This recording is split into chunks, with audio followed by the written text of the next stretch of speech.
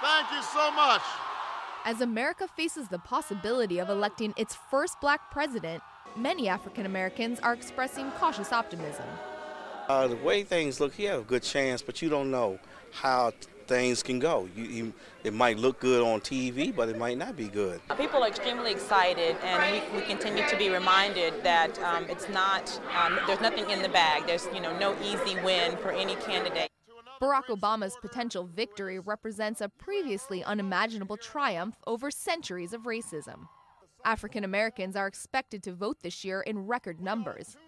In states like Georgia and North Carolina, at least 30% of early votes have been cast by blacks.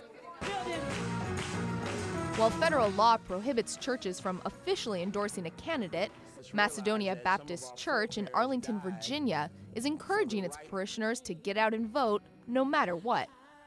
If for whatever reason, when you go to vote on November 4th, your name is not on the roster at your polling place, please ask for a provisional ballot. You still need to vote, okay?